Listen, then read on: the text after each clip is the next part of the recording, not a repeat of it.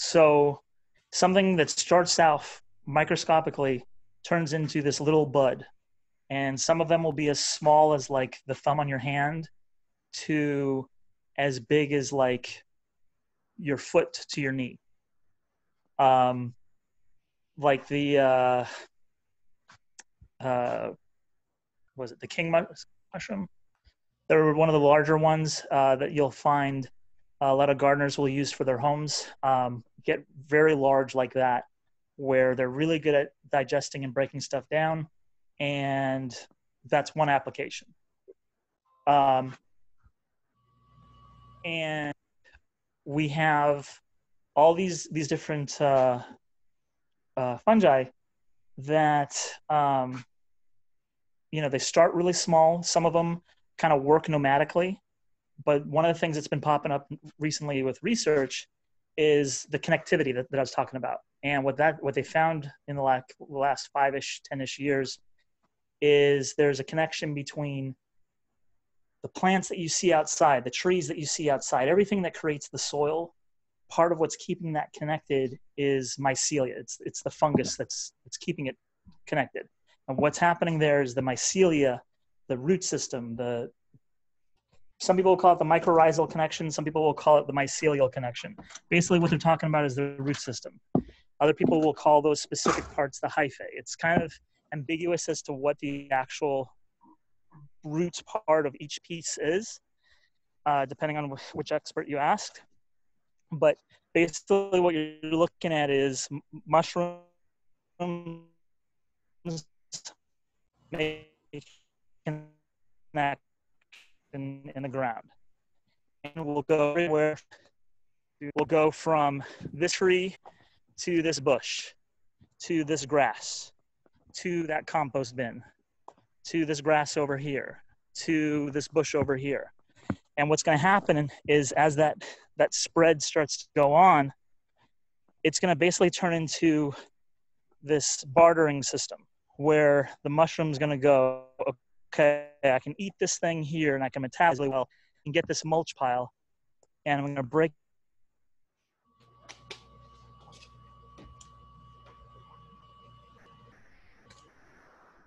Hey, hey, hey, bro, your Wi-Fi is is is is is acting spotty. I think the further you get from your house, the more it's gonna uh, destabilize. Matter of fact, yeah. I don't know what's the way. I see you. Are you on all red here? I can't hear nothing saying, but it's all good. Can, can you hear me now? Yeah, I can hear you now. Okay. Or is it coming in? I can hear you. Like it's still spotty, but I can hear you. Okay. So right here, can you see that on the picture? Yeah. You, you got a stick you're digging through. Yeah, yeah. So right here is mulch. Right here, those little root structures right there, mm-hmm. that's that's the mycelia that I'm talking about. So you get a big, big pile like this that would take forever and a day to break down I mean, we're talking, you know, if it was like just a broken down, uh, fallen tree, it could take a year or longer to break down. But once that fungi gets in there, it starts metabolizing really quickly. And what it ends up happening is it makes that connection with all those different plants and sees, okay, who needs nitrogen? Who needs who needs heavy metals? Who needs carbon source? Who needs potassium? And then what ends up happening is that very simple fungus that's making this connection starts exchanging with everybody and says, okay, you get this, you get that, everybody's happy. And basically, you get this really happy connection with with everything. Because the thing is, like, think about it like this: it's it's like if you were to to plant a garden in the middle of a parking lot. You could feed that garden; it could do really well, but it's still going to be a garden stuck in the middle of a parking lot. Whereas if you filled that parking lot with soil and then took that plant out of the pot and then stuck it in there, now all of a sudden it has this huge community to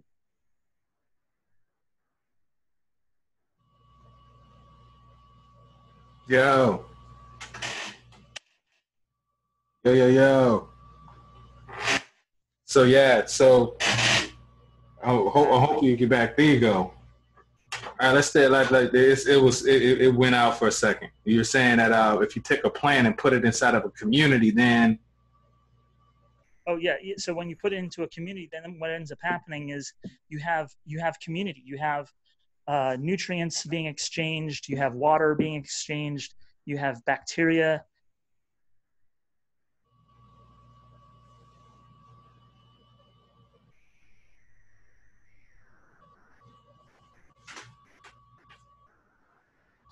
All right. Um, and that's what they're finding more and more is that you know like the same way that like if you look at uh, plants becoming resistant to certain applications of, of you know heat temperatures uh, or or you know different climate things occurring to them. I mean it's all stuff about resiliency and making it better. And that's that's what comes down to composting where the healthier and the more biodiverse your soil is, the easier it's going to be for not only that soil to be there when the plant needs it, but also it's going to make it so that the mm-hmm. plant can do its own thing without having to constantly be like, okay, well, I need to to water every single minute, or I mean, you know, every hour on the hour, or, or twice a day. Like eventually, you end up creating a, a climate system of support that's all around that plant. I mean, the same like like the same way that um so so going back to um Hey pause. Somebody said, hey, somebody said, hey, you you making people dizzy walking around so much. Oh, sorry, sorry. um, sorry about that. Um so like like one of the things uh uh trying to think of a, a nice way to say this. So like one of the things uh, being from Brazil like a, a lot of people, scientists, whatever, like to fetishize the idea of like the Amazon is this unique ecosystem where you have things, these trees that only thrive in this one tiny location or this one plant matter or this one insect or animal or whatever. That's that's amazing. That's beautiful. But at the same time, each and every plant that you are working with outside, they have their own unique climate they have their own unique community. And when you disturb that, then you need to address that and how to fix that. And one of the ways to keep that going is to make sure that it's being fed proper. So like the same way that like, you know, if if you were like, you know, eating a really good diet, really balanced out, constantly hydrating yourself, and then all of a sudden you were to eat nothing but like you know chips or just whatever random like processed thing you would start feeling it so the same way that, that, that we respond to good intake positive outtake the same way your plant is going to respond to you know the, the same things. Proper amounts of hydration proper food you know good digestion of, of stuff. And all that comes back to to composting because it's making sure that the plants getting those vital nutrients getting plenty of moisture uh, getting oxygen because that's one of that's one of the big things for for composting is you've got your your oxygen, you've got your water, you've got your carbon, and then you've got your nitrogen. I mean, those are the fundamental parts. But at the same time, when we were talking about different types of composting, some types, some modalities don't use those things. So, like, if we're going to be doing aerobic versus anaerobic, so aerobic means there's going to be oxygen, anaerobic means there's no oxygen. Another way to think about that is typically anaerobic composting is going to be referring to uh, ferments, uh, stuff that, that you're fermenting, things that you're trying to remove oxygen from. So, like anybody who's doing kombucha, who's drinking kombucha, um, there's a really good book here talking about that stuff, uh, Jadam. It's talking about Korean natural farming. And in there, they're talking specifically about uh, lab, which is ref- uh, shorthand for uh, lactic acid bacteria. And it, lactic acid bacteria is this bacteria that's all around us all the time. It's on our skin, it's on the food we eat, it's, it's part of our bodies, it's you know all over the place. And the idea is you harness it relatively simple like this. This was a rice wash. All I did was I made some rice, washed it, the water that I washed it with, I stuck in a jar. This took, uh, was it five days? I mean, realistically, I should have done three days. So like, I'm starting to get like some some other moldy stuff on top. But if you look carefully, you see that white filament. That is the uh, the lactic acid bacteria slowly starting to build on there. And basically, what it is is it's like a really simple uh, starches, sugars, and the bacteria is just like, oh, cool, I want to eat that. But then what you do is you end up adding it to milk. Here it's just wash, water, that's it, leftover water. Then when you're doing it into here, what you're going to do is a 10 to 1 ratio. So I have 500, uh, was it 500 um, uh, milliliters? No, not milliliters. Yeah, it doesn't yeah. matter. Five the five hundred on the on the mason jar bottle. Yeah. uh, it's not liters because that's a lot of five hundred liters will be a lot, yeah, yeah. and it's not ounces because that's so it's milliliters. Sorry. good. Um, and then right here I've got a shot glass thirty milliliters, so I want to do fifty. So you want to do a ten to one. Um, so I've got the 500 milliliters to 50 milliliters here. And I'm going to put 50 milliliters of rice wash dumped into here. And then I'm going to dump it into this. It's going to go into here. It's going to mix. I'm going to leave it there for about five days, most likely with this heat. It's going to make itself in about three days, maybe four. And it's going to turn into this. So this I made back in April, yeah, April 20th. Um, and this is lactic acid bacteria. This is what it looks like. Now, when I ate it, look, there's this little white stuff here. That was all cheese. That was basically what ends up happening here. The milk starts to separate, and then you get cheese on the top. And then on the bottom, you get lactic acid bacteria. So when people are making cheese, they throw this stuff away like crazy. But then you get people who, like us, who do garden stuff, and we figure out wait a minute i can do something with that. So what ends up happening is you get this and this i mean and this is an operation that like altogether if it was even a dollar's worth of product. When i use this or, or when you use it in general you use it a thousand to one ratio. So you use a tiny tiny little bit of this into a gallon like like a teaspoon or something like something crazy like that. Mix it into a gallon of water that is either distilled or rainwater. Or if it's tap water, just make sure that it sits for at least a day because you want to get rid of the um, the uh, chlorine and chloramine. You mix those together and you start spraying that into your soil. The reason you're spraying it into your soil is what I was talking about earlier is that everything you want everything to be about digestion. You want everything to break down efficiently. Hey, let me pause you real quick. Let me let me throw this out here real quick. Somebody was like, "Yo, I didn't think that I could that they could uh, compost meat or dairy." So um, before you go too deep and past this point, insert something that talks about you know safety with composting. You know what I'm saying? And like the whole like rodents right. and, and pests and putting meat or dairy right. inside of your compost and how hot it needs to get and all that stuff. Okay. So if I'm doing a worm bin like this, and this is super simple, holes on it, coconut coir left over from the coconut industry, and then worm. In here, I'm throwing in vegetables, I'm throwing eggshells, I'm throwing some uh, some peels like this, just a, a little bit of citrus peels. And then I'm letting it break down. See something in here that I threw in here? Didn't agree and it got a little bit moldy. Ideally, you don't want to have mold in there.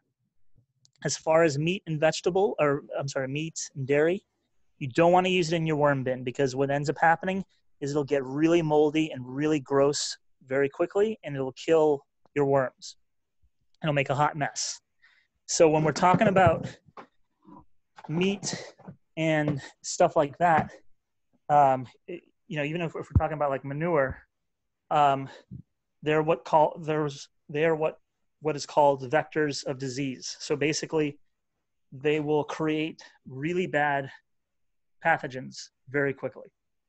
Uh, so like, uh, what was it? A few years back when we had the was it uh, the lettuce and tomatoes here in the states that everyone got really sick from. Uh-huh. At least one of those cases, I remember they said it was like a pig farm that was right next to the spot where they were growing the vegetables. That basically means that pig crap, poo, shit, manure. Yeah. Uh, yeah. Let's keep it funky, there. pig shit. so basically, pig shit got too close to stuff that was consumable. And guess what? People got sick. Uh, in some cases, people get salmonella, and other places, other or not salmonella, salmonella, E. coli, other bacteria like that. Those are things that can really happen with using meats. The way to mitigate that from happening, to, to keep that from, from happening in the first place, is uh, like Duran was talking about heat. So the general rule of thumb is if you're going to do a compost bin and you're going to be adding in meats, then you want to have what's referred to as a hot bin. Hot bin means that you're going to have temperatures over 100 degrees. Ideally, they're going to hit 120 degrees for at least three days.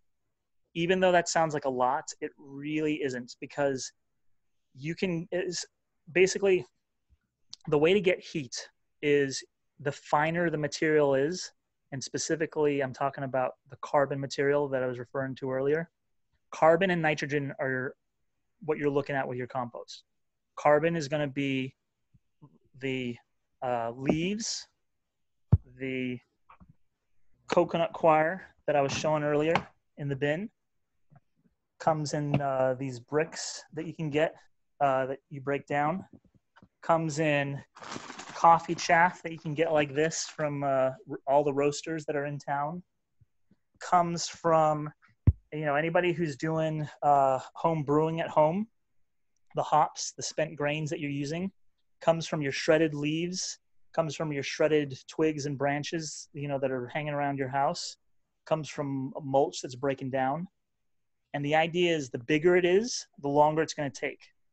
The more ground up it is, the quicker it's going to take. And the reason for that is the more surface area, the quicker bacteria, invertebrates, all these different things, the fungi will break it down.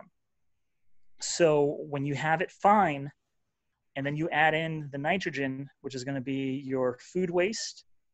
It's going to be, if you're working with manures, uh, it's going to be all these wet things that you add into there. These, and, and when I say wet, it's not like they're soaking wet. It's just like things that, that once had significant moisture to them, things that, that are high in nitrogen specifically. Once you add them in there, they're going to be the catalyst to making that heat. So when you're working with meats and stuff like that, you want to make sure that you have those really high temperatures because you need to kill that bacteria from happening. Um, when COVID started, that was one of the things that that all the composters were freaking out about. Like, okay, what what does this mean? Like, does it mean we're gonna have to like watch out and all this all this stuff? And um, and then they found out pretty quickly that like, okay, if you're doing hot composting at your facility, short of you know people touching handles and passing things around your compost isn't really that big of a concern as long as you're doing it hot so the idea is the higher the heats for your compost the more it's going to kill off the stuff if mm-hmm. you're doing those hot temperatures and your your compost still gets gets you sick like if if you still get sick from something from there there's bigger problems to worry about than the fact that you added something into your compost. There, there's a whole, oh my God, what the hell am I, what, what, what's brewing here? You know, that's, that's in nature, that's this resilience to, to heat. So how do you um, keep the heat? How do you, how do you turn the heat up in your compost? so way to do it is to aerate your pile. Um, a lot of people will use a pitchfork. I usually use a rebar or a pipe. If you use a pitchfork, you're going to get stuck. It's going to hurt your back. The reason you're you're using a pipe or a pitchfork or whatever, you, the reason you're aerating your pile is because what I was saying earlier about oxygen being important. If you're doing that type of composting, you want oxygen in there to to uh, oxygenate your bacteria.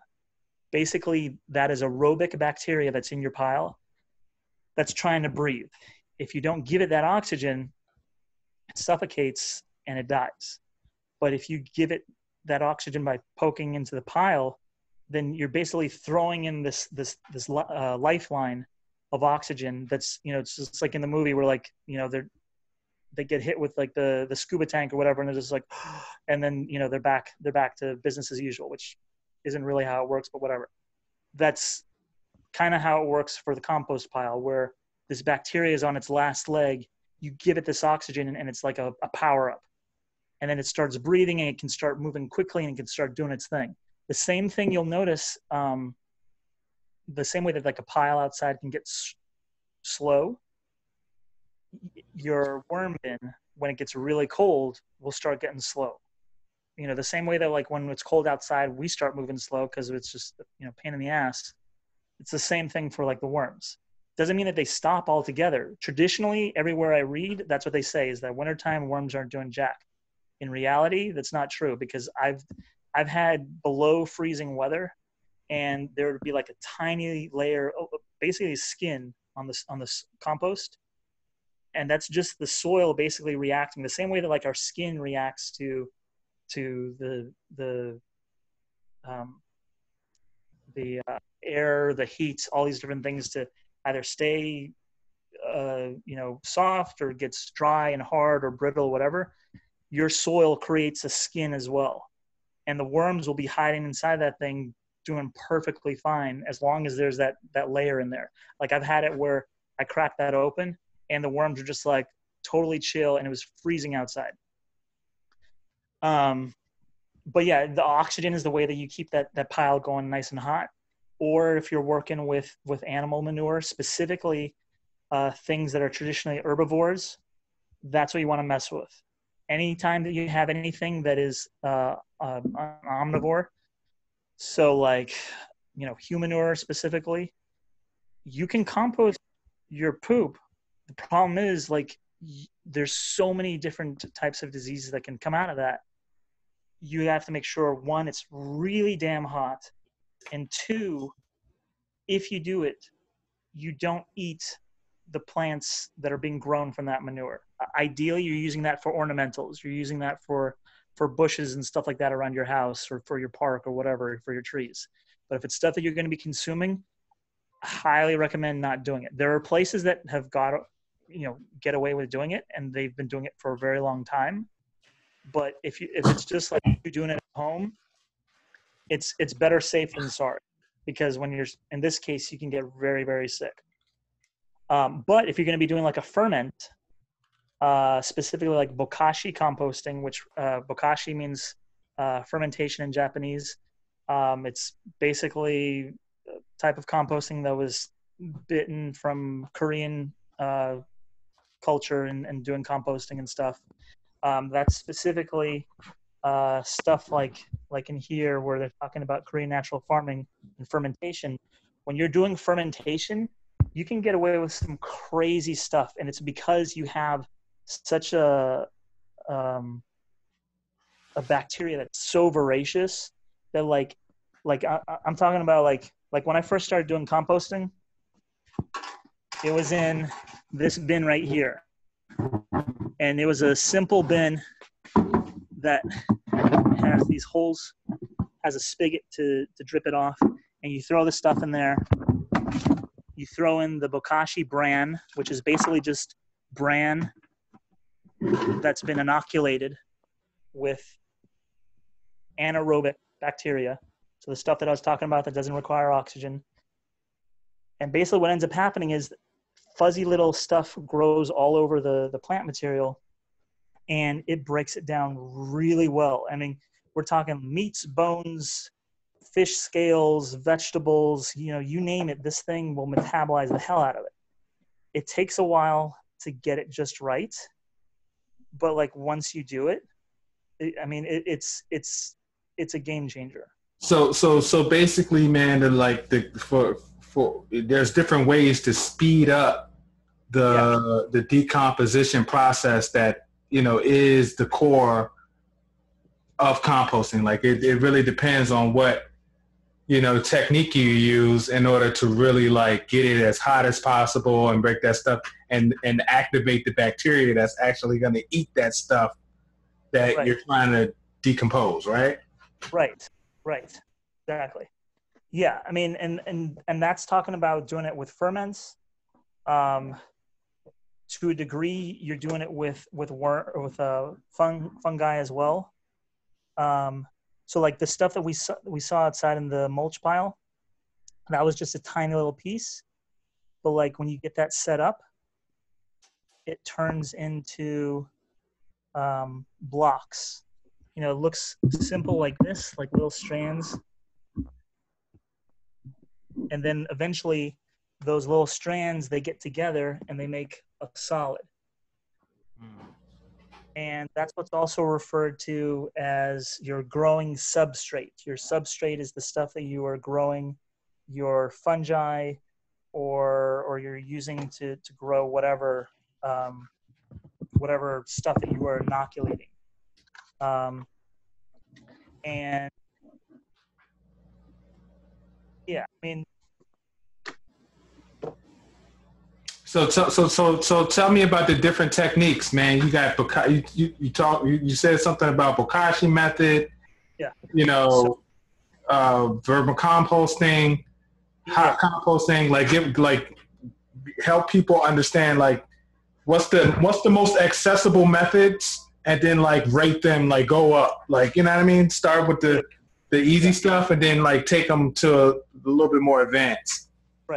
So if you're going to be doing stuff like, especially if you're going to be doing stuff with like, uh, like your kids, if you're trying to do stuff that's like real simple, if if your household is on a vegetarian, uh, vegan diet, then I highly recommend doing vermicomposting. And this bin right here is, uh, I believe it's a 17 gallon. You really don't need that big a bin. Um, you can totally get away with like a five gallon bin the worms that are in here, these are called red wigglers. Um, they they do their thing. Uh, when you're looking at buying worms, the general rule of thumb is one pound equals 1,000 worms. When you're doing it for a household, worms eat, can eat their their body weight per day if everything is right. So the same way that like if I were to say, hey, I want you to eat, you know, two pounds of potatoes, if you don't feel like it, you don't feel like it. So the same thing happens with with the the worms and stuff. Where like they have to be eating the right stuff. They have to be comfortable with the environment you're giving them. You can't be messing with them all the time. They have to be in a relatively shady area. You have to make sure the moisture level is just right like this. Uh, um, the uh, so like this here, it's it's not soaking wet. It feels it feels like somebody kind of sneezed on my hand. Like it's a little bit sticky. Um, afterwards, if I were to shake somebody's hand, they'd be like, "Okay, what what have you been doing? Like that's disgusting." Like that that's the general rule of thumb for composting is you want it to not be soaking wet, but you want a little bit of moisture in your pile. And that's going to help the bacteria. In this case, it's also going to help the worms because you don't want the worms to dry. And and we're talking and then when you're feeding them, the really important thing for the worms is that it's going to take them a while to be comfortable with the food. So when you're first doing it, you're going to get a little bit of food. You're going to throw it into here, and then you're going to cover it. And then you're going to go the next, and this is a banana peel it's breaking down. Then you're going to go the next day, going to dig another hole, put the food, and then you're going to cover it. And you're going to keep doing that over and over and over and over again.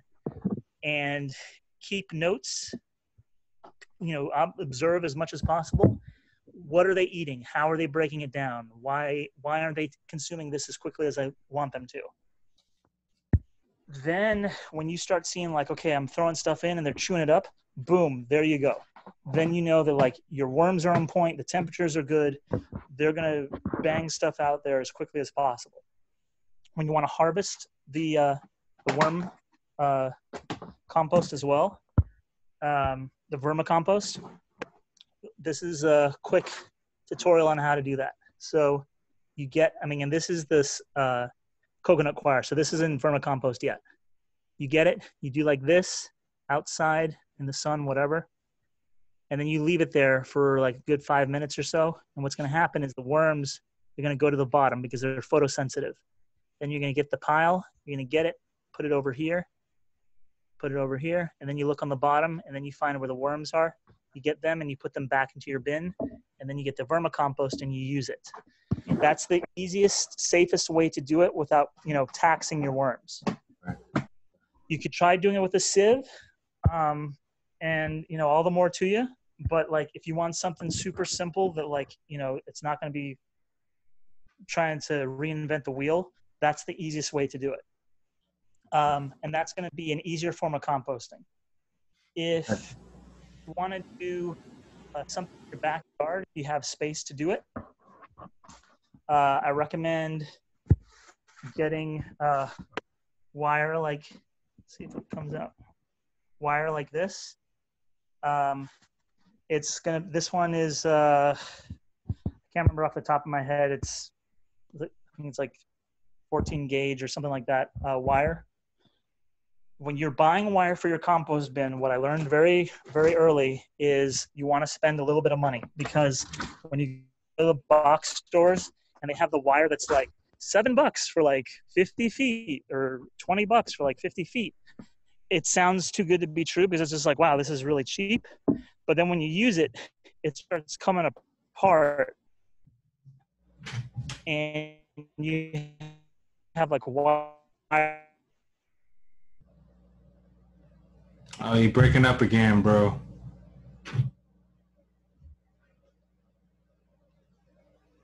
Yo. Oh no. So see, all right. You're breaking up a little bit, but okay, now we're back. That's your bin? Yeah. Nice. Um, That's chicken wire now for folks that are gonna go to Home Depot and try to do this thing. That's chicken wire. You go on the uh, if you go to Lowe's, because we're not supporting Home Depot no more. You go to Lowe's and um in the garden center, uh, you know, you go in the garden center at Lowe's and go to the area where they keep the fencing for pets. And they got the chicken wire there. Look, That that's that that that uh that's easy to find. Um, so, and and even for there, I would I would get it if you're starting off, but Tractor Supply or any of like the uh, was it um, Southern States? Or, yeah, yeah, or Harbor Freight. I'm not sure if they'll if they carry wire. You might not. Like any, any of those places that have like livestock, that's the kind of wire you want to get ideally because what I found is like with the the stuff that's like cheaper at the box stores, the joints right here come off too easy. And I've had it happen where I was like, "Oh, this is amazing! Like I got like all this wire for like nothing," and then I start using it, and like the wires like stabbing me in the eye when I start like trying to chop into the compost. Uh. So like, so like this one here, and this is this one's, I think it costs like like a 80 bucks or something like that for like a 100 foot roll. This one's even cheaper. There's one that's even more expensive that like you could straight up climb on this with your boots and this shit isn't going to budge. Like it's just it's built the the way that it's so like this here is welded. The other one is what's what's referred to as um uh god what is it? It's like laced or uh uh woven uh wire. Mm-hmm. So when you when you put tension on it, it holds up. Whereas this stuff here, the bond eventually can start to wear out. I mean, here, luckily, it hasn't happened. But yeah, so like this is another type of doing it for your home. And what I'm doing is on the bottom here, I put at least, uh, I want to say at least like two feet of mulch on the on here. And luckily, I had a pile of mulch in the backyard from uh, some some clear up. But if you have like just random ass leaves or branches broken up or or whatever, you just throw all of that stuff in the bottom. And the idea is that that's going to hold in place as long as possible. And as that's going to give oxygen that i was talking about earlier. So like all these little pockets that you see in here that's really important because that means i'm not going to have to work as hard to give oxygen into this pile to feed the bacteria if you don't do that what ends up happening is everything just sinks down to the bottom and then you just have like basically a big sloshy mess Whereas what happens is as it breaks down and it pushes into here, it's getting trapped on each of those little pieces of wood. And remember the mycelia that I was showing earlier, all this stuff hopefully has been myceliated uh, before coming into here. Like that's one of the things when I'm throwing stuff in here, I'm adding things in, and that's also referred to as amendments. You throw that stuff in there, and it's basically just like little growth bombs that you're throwing in there to make stuff really pop with life. So ideally, as this stuff is breaking down, it's also saying, oh, hey, hold on, I got this stuff in here that's going to break you down even better. And yeah, so like this is one way to do it at home, especially if you're going to be doing meats and vegetables. This way is going to give you a lot more heat. Um, and yeah, and you know, occasionally you'll have like, you know, if you're not turning it all the time, you'll have pop-ups like this. Okay. You know, little little volunteer. Hey, we uh, we, we yo, we at we're at eight o'clock, man. You want to take a couple questions, or how you want to do it? Because we got a couple folks that have chimed in on here. Throw a couple questions in it, in here. Um, so let's see. Uh, let me see. I'm gonna, I'm gonna go ahead and scroll up to the top. See what we got. Um, we already talked about the compost and the meat. Um, Da, da, da. Let's see. Okay. Yeah, somebody was like, um, how long does the bokashi last? You know what I'm saying? How long does the how, how long does the bokashi last when we uh, remember we made the bokashi with the group with one of the Again Urban Gardeners groups? Um, yeah. How many? How, how long would that that that that uh that that dose of bokashi last? I mean, so that time we did the. Uh, I'm trying to remember. Did we do a liquid or or did we do the we did the bran right? Yeah, we did the bran. Yeah. So like, you can buy bokashi that will be shelf stable for a while. The idea is because it's anaerobic and because of what it's doing, you want it to one stay without oxygen until you're ready to use it. So if you're making the bran yourself, I mean, theoretically, if you have everything on point, um, I think you can technically get it up to like several months to a year stability. Like one oh, of the things that one of the things that I'm doing right, I, I believe so. One of the things that I'm doing right now, because that's the thing, the Bokashi bran that I that I made, it came from this. Okay and this is this is lab. This is the lactic acid bacteria. This one has been added. Uh, sh- sugar has been added to it, molasses specifically. The reason the sugar is added there is you're doing what's called um, was it hypersaturation of sugar. So like the same way that like when we have sugar and we we crash afterwards, what you're doing is you're getting that lactic acid bacteria and you're adding in a shitload of sugar. And the idea is you're breaking it you're you're basically you're giving a sugar high that's going to stop all the bacteria from working that there's going to be the ratio of, of water and sugar in there um, there's not going to be any more water for them to consume and burp there's just going to be hmm. sugar oh. when you do that and it's shelf stable the liquid that you can do to make that bokashi that shit can last i've heard people say like over a year Wow. And that's one, that, that one is shelf stable. So like this one here that's that goes this has been in the refrigerator. This one isn't shelf stable, but from what I understand, um, it can last several months easily. And it doesn't smell it basically smells like a really like it's like it's like if you had mozzarella or something the smell that your breath would have afterwards it's it's cheesy but not like crazy Okay. But then you know, after it's been sitting for a while, it's still got the bacteria in it, probably a little bit, right? Yeah. Well, yeah. See, and that's the thing is that like, it's all a case of like potency. So like like for the the lactic acid bacteria, it's going to be very resilient if it's kept in like the right temperatures or if it has the right food in it so the sugars to make it shelf stable. And if you're adding that into whatever and you're letting it to to multiply then what's going to happen is it's going to multiply like crazy. It's going to basically whatever you add it to is going to turn into into an all you can eat buffet. So it's going to be like boom boom boom boom boom boom boom with all this eating and multiplying and turning into to a, a spread of stuff so what can what will start off as just as like, oh, I'm spraying a little bit here or there, We'll turn into. Let me see if I can get this picture. Um, yeah, will be stuff like this. Oh wow. Um, where where they're adding in different additives and bacteria and all this stuff is getting really really tight and funky and making lots and lots of connectivity. Um, this is one here too that i, I want to work with you in the next few months or so. This one's talking about making microorganisms on a local level.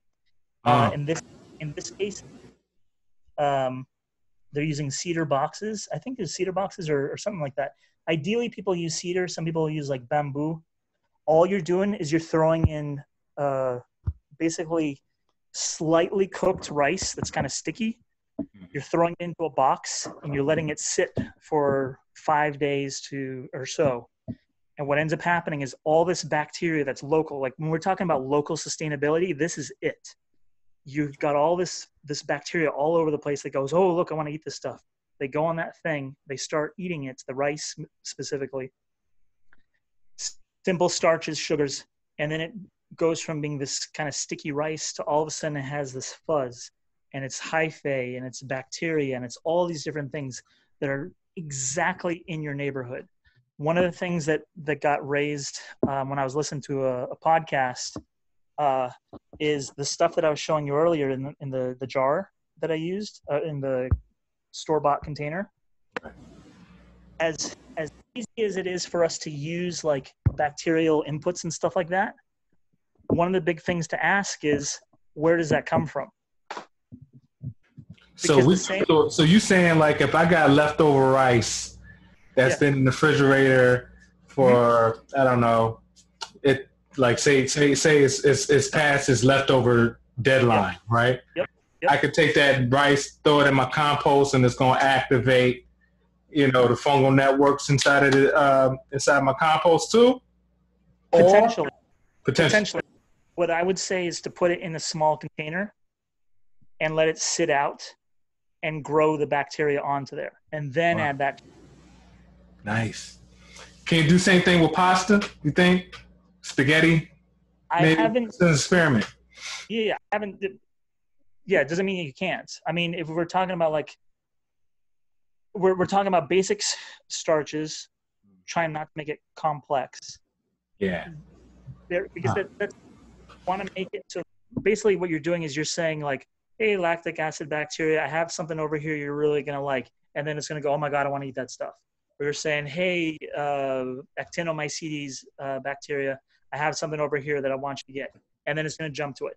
The one of the things that people will do when they're making this this rice box is they will look specifically for uh, parts of their uh, property or farm space or whatever that has like uh, trees that have fallen or piles of leaves, and they'll throw it on the box. So they'll throw it around the box.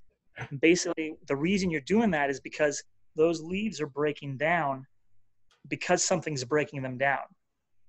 And now all of a sudden they're like, oh, you've got rice. And I'm going to go over here and I'm going to eat that rice. Right. And I'm going to and I'm going to inoculate that rice. Right. So so so okay. So so we got vermicomposting. We got uh, your outdoor compost wire bin. Then you got the bokashi method where you're actually making your mic- making your bacteria or you're yeah. cultivating your bacteria, I should say. Uh, are there any other techniques that you would, you know, uh, yeah. recommend throwing out there? Yeah. So like, if you're gonna, if if you really like uh, mushrooms, you know, fungi and all that stuff, there's a really good book to to go with. Um, this is gonna be like if you have. Uh, so like the what I was showing outside was uh, there were some stumps that were covered in mushrooms. If you have stuff like that for land management that you're trying to get rid of, that you're just like, damn, like it's going to cost you several thousand dollars to break down, or you could inoculate it and it could break down into something for your yard. Mm. And that's add in the mushrooms. And it can be as simple as, you know, you're finding those those spores, the the mycelia, rather that was in that pile over there, and you're mixing it around your garden, so that all of a sudden they'll start flourishing. Or it could be that you get like the tiny little uh, plugs of mushrooms that you can purchase, and you put them into wood and you inoculate them and you seal them up with with wax and then they basically start to bloom and they eat stuff. That's a type of composting. Um, you know fung, fungal composting is is a valid type of composting. It's not going to do breakdown of like food and stuff like that but at the same time if you have like a bunch of fallen trees around your house that stuff's a pain in the ass to take care of. And the one option is if, if you can afford it you can have someone remove it for you or you could look at that that stuff that's around your house and be like okay i'm going to grow something from that. I'm going to make a Hugo hugelkultur out of that. I'm going to make fungus out of that.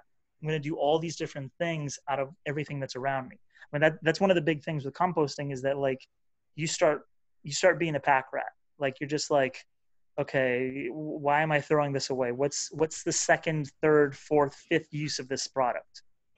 You know and you start getting all these different things and reusing them as much as possible. How many? Um, how many? Uh, uh, buck. Uh, well, well, what's some what's some common things that people can grab up to, to start their compost? I, I I'm always recommending people getting buckets. Uh, yeah. So you know the five gallon totes. Yeah. So if you do like the five gallon totes, um, you can start with you know a few worms in there, like a handful or two of worms. You can make your own uh, systems where you're you're making like the the worm chalets or the the worm castles, whatever, where you're you're making it so that there's holes and they they can move in there. Basically, one bucket's going to be food, another one's going to be drainage, and then you're going to keep moving stuff around. You're going to have like three buckets, and you're you're going to have like a rotating system.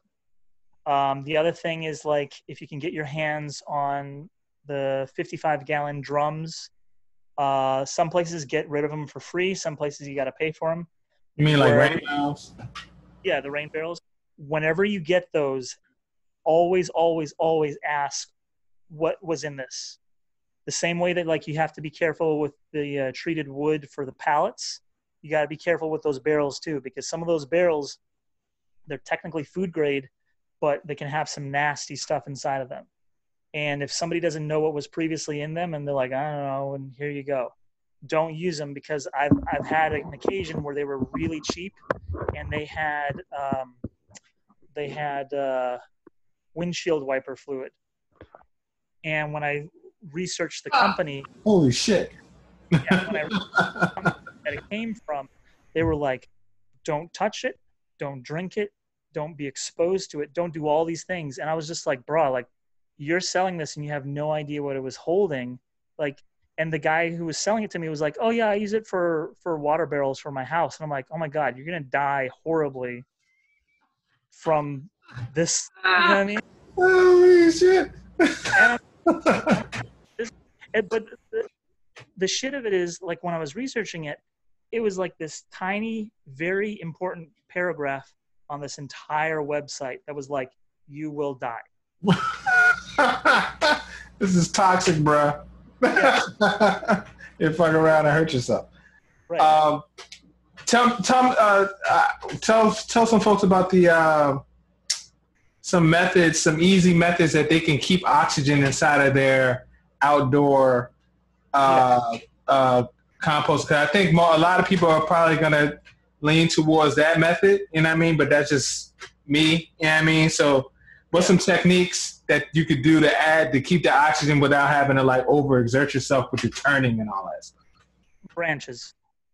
All, all so basically if if you have like if you have twigs and branches all around your house that, that you're just like I can't stand dealing with it. Make one day where you just do nothing but that. You throw all that stuff on the bottom of your pile, and that's going to make work for you so much easier. And the thing is, when you eventually take apart that pile, when you take apart that that bin to harvest, anything that's not broken up, you're going to take it out and you're going to scoop it to the side, and then that's going to go to your next bin. Because what's happened is the same way that you want to inoculate that rice the same way you want to inoculate that milk the same way you want to inoculate all these things that material that isn't broken up has been hit with all the bacteria all the fungi all the all the different things that are working to break it down. They've been doing it all that time. They haven't broken it down yet.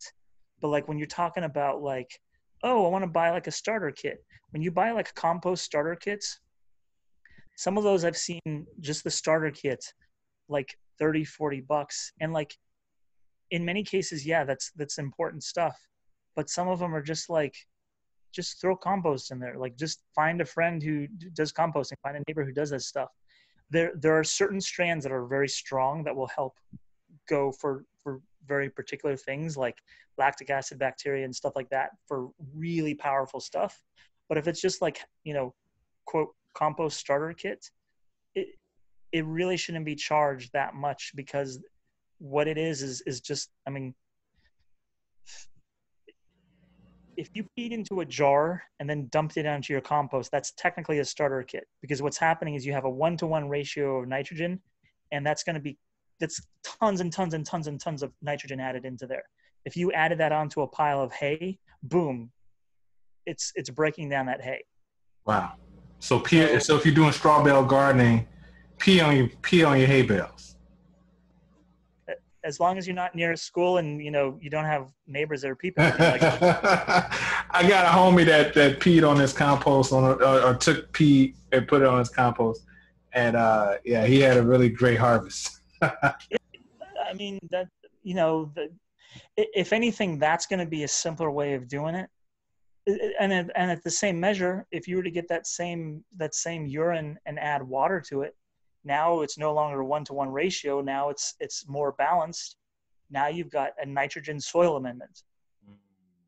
You know, if if if you get those pH levels just right, I mean, you could be feeding that to your roses. Right. You know,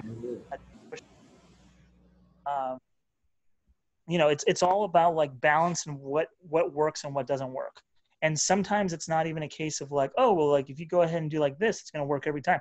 That's the th- that's one of the number one things for composting is that you're going to have failure you're going to learn from it and you're going to do something about it. Because what ends up happening is there's too many just as in life there's too many people that want to know how do i do it without fail? And the thing is that's gardening that's composting that's anything you can think of anything you can apply there's going to be failure. The important thing is how do you learn from that failure and make it as productive as hell. You know i hear people like get caught up. They be like oh you know i gotta put three parts nitrogen and you know one part you know carbon. I gotta put three parts carbon. You know what i mean? Like they, they do these ratios with the with the thing. And then I, I think for a lot of folks that paralysis of analysis sets in because it's like holy shit i'm not how, how do i know how many browns, you know, how many greens, you know what I mean? Right. I mean, for me personally, in my composting scenario, you know, I just toss shit. I just toss shit. I got barrels in my backyard, you know what I mean, that I cut open and I drill some holes in the bottom of them and I just, I just toss shit, you know what I'm saying, in it. And I don't really be thinking about like, oh, but I mean, when it starts getting like really weird with the flies and shit, then I'm like, okay, let me go get some uh, some newspaper or some old cardboard or yeah, I mean, I'm throw some stuff in there just to kind of like balance out the wetness because I mean I got a lot of food scraps in there, so let me throw some carbon in there. But I don't really be like meticulous with it, you know what I'm saying? So I mean, my, I'm a lazy composter. Right. You know what I'm saying? I ain't got time to be turning shit all the time, man. one of the things that I've been learning gradually with like the the Korean natural farming, where they go for so like what I traditionally would have been like, nah, this is like way too funky. I got to dump it out or I got to do whatever. a lot of the method there is no, let it go, let it keep getting funky, because, like like for instance, um, when you're making uh, fish amino acids, basically what you're doing is you're getting fish guts, you're getting fish, you're getting leftover fish, you're jamming it into a jar, you're putting, I think it's equal parts sugar to how much fish you put in there, putting in water, and you're letting that shit sit for months. The same stuff that we throw onto, um, that we have like in stir fries, like the, the you know the the fish oil and stuff like that. That's really dark and funky. Right. It got to that level because it sat for a very long time. When you make this stuff yourself, you can either use it for your food or you can use it to grow your food. So like, mm-hmm. there's some people who will make the fish and they'll they'll use it in their garden or they'll use it in their stir fry or or whatever food that they want to be doing and that's basically just looking at like how can i make something like that's one of the things that they've they've learned in korean natural farming is that like when you let stuff get really funky nasty and and just concentrated like that you start getting like really high levels at the same time when we go to like the store or, or whatever they're like oh yeah you know like you know it's got like this much uh, um, npk it, nitrogen, potassium, and phosphorus are, are just one fucking tiny, tiny, tiny piece of the equation. Right. Bacteria, insects, fungi, all these different things. Those are what you want. The, the funk of soil is what you want. You don't want this absolutely perfect thing that, like, you know, the same way that, like, you're not going to survive off of protein shakes all day long like you got to add in fiber you got to add in nutrients you got to add in all these different things. It's the same shit for your for your garden for your compost. Right. it needs add there in order to thrive. And that's one of the things that they found with like these really concentrated ferments were like they get like we're talking like fucking like banana peels in like a jar and you're getting like really high ratios. And the thing is not only are you getting concentration but you're getting it in a in a liquid volume and a, a, a liquid um, serving that's easier for your plant to metabolize. So it's just like, wait, okay, I could throw it away or I could compost it.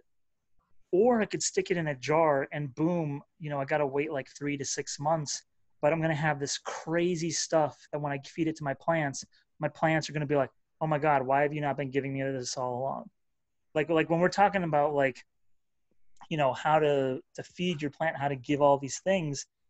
And and that's that's the reason why like i'm showing all these different things is because there is no perfect way. If anything there's a perfect way for your house for your basement for your garden. It's all yeah, about you, cherry picking. You remind me of uh you talking about the liquid uh the liquid soluble. It reminds me of uh GZA uh uh, from Wu Tang. It was like um, the liquid soluble that made up the chemistry, gaseous element that burned down your ministry. Urban vapors and biblical paper smoking exodus. Every square of y'all was plush. I'm sorry. I got as as I got throw a little something in, in, that in that mix. That that's my jam though. That's uh mystery chess boxing. Uh no uh in that mystery chess box? I think so. Uh I can't remember. And and yeah. what he's talking about there, most likely, is he's referring to like the there's the biblical reference of um uh, they get like a ram's horn. Mm-hmm. Oh no, that was Duel of the Iron Mic. My bad. Anyway, yeah. look, we're on a tangent, so let's yeah. bring it back. Uh, thought. But but the idea idea there is that they're making a concentration inside of a very tiny thing, a, a horn and they're letting it sit for a long time. I mean, this is stuff that was like, you know, way back then, BC. People are just like, okay, this is how we grow shit. Like, you add the thing into the ground, you let it sit, and then boom, you get really healthy stuff. Yo, so um, you made me think of something right there. So, you know, when we talk about uh, composting, you know what I'm saying? A lot of times people like I try to parallel it, man. Like for folks, it's like you go in the forest nobody's nobody's picking up the leaves in the forest. Right. You know what I'm saying? There's nobody that goes through the forest and rakes up all the leaves. Right. You know what I'm saying? Puts them in bags. You know what I'm saying? And takes them somewhere else. Like in a forest situation, I mean, leaves fall, they decompose, right. break down. It just, it just, it consistently happens. You know what I'm saying? So like being in rhythm with that, with your own composting methods, is like thinking about like how how can I do less work? You know what I'm saying, and not and not be stressed out. I will say this though, I did. We we we tried to we tried to uh, get fish guts from the uh, from the fish market. and we put it in the compost, and that shit stunk, boy, man. It was a, it was a horrendous, it was a horrendous hit. and I got neighbors, so I had to like, we had to like not do that. so, so, so think about it like this, though. What if you left it there? What would happen? That people would have called on, called, they would have called people on us. so, like, you would have got flies. Right. Flies are pollinators. Mm-hmm. They would have been buzzing around your pile. Yeah. And birds would see them, and they would eat them, and they're pollinators. Right. And you get other insects who go after flies, Right. They would eat them. They're pollen. And then now, like now, there's a whole market um, of what's called frass. Frass is just insect shit. Oh so wow! We're, yeah. We're talking millipedes. We're talking um, uh, uh, uh, roly polies. Uh, grasshoppers. Yeah, grasshoppers. Like, you know, and and this is stuff that like before I was just like, cool, it's in the compost, whatever. But now they're like breaking it down and being like, okay, this one, the same way that worms have a particular type of feces of manure that works really well based on bacteria in their stomach, these other insects seem to have other parts to them that are just as important. And something needs to attract them, whether it's going to be the funk from the fish or whatever's breaking down in your pile or the fact that like it's an open bin or whatever like the part of the thing is the same way that we don't want lawns because they're monotonous the practical application of them in the united states is unsustainable and and it's a monoculture.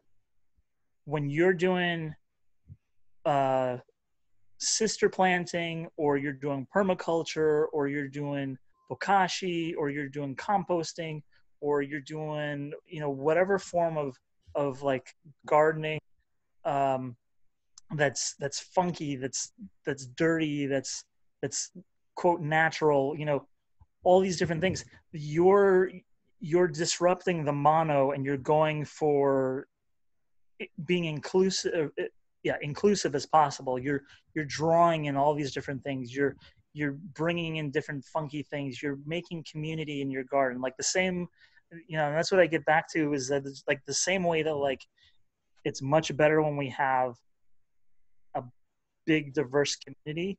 The same thing happens for compost because if your compost is just like this plain bland shit that's just like same thing all day long like okay you might be making a lot of stuff but like is it good? Like right. is it cool? Like right. all the there? It's the same way that like some people will, will get some people prefer certain compost from other compost some people prefer certain soil from other soils. Some people prefer like there there's clearly a difference in quality and quality quality begets growth yeah and that's the thing is like all compost not being equal is like your inputs will determine your outputs so if you only composting bananas you know what i'm saying then you're gonna have lots of potassium inside of your compost. You know what I'm saying? So it's like you got to think about all of the how do you get as many different nutrient sources inside right. of it as possible. You know what I mean? So yeah, that's that's clear, especially with the trace minerals too. Yeah. Uh, how do you get the trace minerals inside of it? Is is is a, is a really important question. I mean, and and and the easiest answer I have for that is like, you know, make your own lab. You know, make your own compost tea all these different things that you can add liquid to and then boom let's say you you're doing hydro now you feed that into there instead of instead of it being like, okay, I bought this product and it's coming from the other side of the country, or or it has like these particular facets in there. Like some of that stuff is great, but at the same time, if you can make the thing yourself, you know, it's going to take a while to get there. But then once you get it, that's the most sustainable way because like there isn't shipping, there isn't containers. It's it's your backyard and your plant. You know, it's it's your your backyard or your your office and the warehouse space that you're using. It's it's like as localized as humanly possible, as localized in in the purest sense. Right. So, um, you got any? Yeah, oh, Lo, what's your recommended reading? I see you got some books over there. Go ahead and share some of that recommended reading with folks, and we're gonna figure out how to close this out. We are we're almost at eight thirty. Okay. So this I refer to, you know, without getting burned out of Richmond, like this is the compost Bible. Yeah. Like, this has all the things. This, like, want to get nerdy? This has it. You want to get blunt? This has it. You want to get whatever? Like, it, it really is in, in every sense of the nature of nature. It has all the things you want to know. Um, if you want to get into the biology parts and get really geeky into that and like figure out how to to get into the science highly recommend this one. If you want to get into the fungi and how the mushrooms work, how the connections work, and this was a book that came out before all this started getting popular about the trees communicating with each other and the plants communicating with each other. This talks about a lot of that stuff. It shows, like, especially if, if you have kids or or if you're just like bored as hell and you want something to do it has some really cool projects that you can do in here, including getting um, uh, mushroom imprints, where basically you get a piece of glass, you stick a mushroom on there that, that's been freshly picked, and the spores come off of it, and boom, you got art. Oh wow! Uh, want to get into like I don't know how the hell people aren't selling this like crazy because the the prints that they make from this are really dope. Um, and it's it's stupid simple. I mean, like, uh, let me show. There it is. Like all that is is a mushroom sat there and this and the mushroom did its thing. It was like, oh, I'm gonna make more mushrooms, and it happened to be on a piece of paper or on a piece of glass, and then wow. boom. Wow, that's fascinating. If if you want to go get into like how to do this stuff from your backyard, I mean, this dude gets into like how to make your own soaps how to make your own pesticide, how to make your own herbicide. And it's just using nothing but plants and all this shit that's growing around you and just fermenting it and getting it funky and concentrated. Some of it is like more technical stuff with that like you really need to be careful with as far as mixtures go. But then some of it's like this, like potatoes that you've cooked, you stick it in a bag and you just knead it until it gets mushy. I mean, it's just like really simple stuff that like it's been multiplied and magnified and tested and prodded and all the it's been through the the, the loops. Mm, word. And, it, and, you know and it's shit that's like going on for for you know generations. But i mean it, it's a case of like what we're taught you know? You right. need to have a nice yard you need to go to the grocery store and get all these things. You need to have all these other things. You need to have nice clean fingers. You can't smell like this. You need like this is all stuff that like it's pushing away from from doing doing the thing. Um, if you want to get into how to make energy from your compost i highly recommend this one. It's got a coffee stain on there. Um, this one's talking about making energy thermodynamic energy from your compost bin to your garden like if you want to be doing gardening 360 inside your bed do this one or inside your greenhouse do that one. If you want to grow like some tropical stuff without having to get solar power i highly recommend that one. Mm. uh, this one goes over stuff with worms. I'm not crazy about all of it. I mean for any of these things like these are really good sources to start with but more important doing the damn thing yourself. That's because it. read it as much as possible but until you actually see it being done then you get that aha moment where it's like, okay, now I understand what they're talking about. Like it needs to be damp, not soaking wet, or it needs to smell like earth. Now I know what that smells like. Or it needs to have like a sweet smell, not funky. Now I know. Or it needs to have a funky smell. Now I know what that smells like. Like it, it'll get to the point where like you will smell. You'll be by your bin. And you'll be like, oh, that's kale that went bad, or oh, that's fish, or like like you'll just start walking around the city and you'll start smelling nasty stuff, and you'll be like, oh, I know exactly what that is. um Yo, Bruno, you're you're you're a freaking genius, man. Um, we're at 829. How can people get in contact with you? Uh, don't uh, you compost? Don't don't don't you do uh, compost pickups from people homes too? Yeah, yeah. So uh, we we've moved into doing residential uh, over the past year as well as commercial still, um, and you can go on uh, basically uh, contact me directly through the um, website. Um, trying to update that stuff so that it'll be even more streamlined. Uh, the Instagram page is another uh, easy way to do it. The Facebook page is a little, it's it's a pain in the yeah. Um, but uh, but yeah, like if anything, I'm trying to get it as widespread as possible. If if people want to go in on it together, like I'm totally down for doing like community composting stuff, like like like we did at McDonough. Um, I've been even throwing around the idea of like doing like shared bins for like uh, apartment complexes and stuff like that, or, or communities that are just like you know we'd rather have like like our own compost dump, but but not not the same idea of going to a landfill. Right. Um, you know, just trying to make it as easy as possible. We'll also do um, like if people want it for their homes. Um, I'm working on making some wireframe bins that will be easy that you will get your wireframe bin, you'll get a bunch of leaves that have uh, been inoculated with stuff. Um, you'll get a burlap bag. Like you'll ha- you'll have as many of the ingredients, the dry ingredients, as you need to then get kicking with with your side of it from adding in your food waste. Like I'm that that's the whole thing is that like if it's not simple, then people aren't going to do it. And if people want it to be complicated, then I can give them complicated. But like the whole idea is we need to get everybody on board. Like if if if everybody isn't doing it, then what's the point? Right. So yo, man, uh, what's your website? Compostrva.com. Uh, is that right? Yeah, yeah, compostrva.com. Yep. And what's your Facebook? I mean, uh, what's your Instagram? Uh, all so Facebook, Instagram, and Twitter are all Compost RVA. Sweet.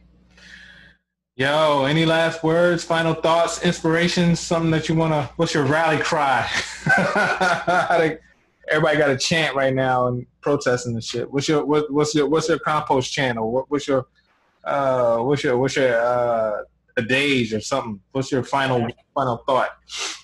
I mean, so it, it was kind of like what, what I was bringing up every once in a while is that like composting effectively is what we're striving for. The more people involved, the more diversity there is, the hotter, the more efficient, the better, the healthier it's going to be for everybody. And we're talking about personal health from the bacteria that's in the compost that actually helps with stress levels. We're talking about garden health, which helps us grow better things eh, that comes right back into the personal health that makes us healthier for eating them in the first place. If we're not making that loop as easy and healthy as possible, then things are going to continue the way that they are. Yeah. Word. All right, man.